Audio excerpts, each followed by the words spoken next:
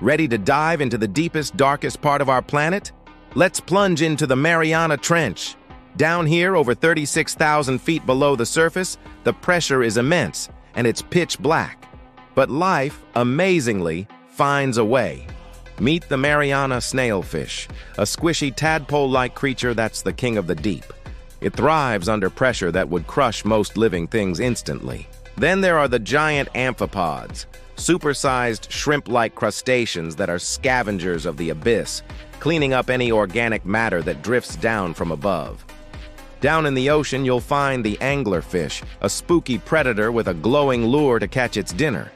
The females are huge, while the tiny males stick to them for life. With massive teeth and a stretchy jaw, they can gulp down prey twice their size. And you can't forget the bizarre barrel-eye fish, with its transparent head and upward-facing eyes, perfectly designed to spot the faint silhouettes of prey in the darkness. These creatures show us that even in the most extreme environments on Earth, life is resilient, mysterious, and absolutely fascinating.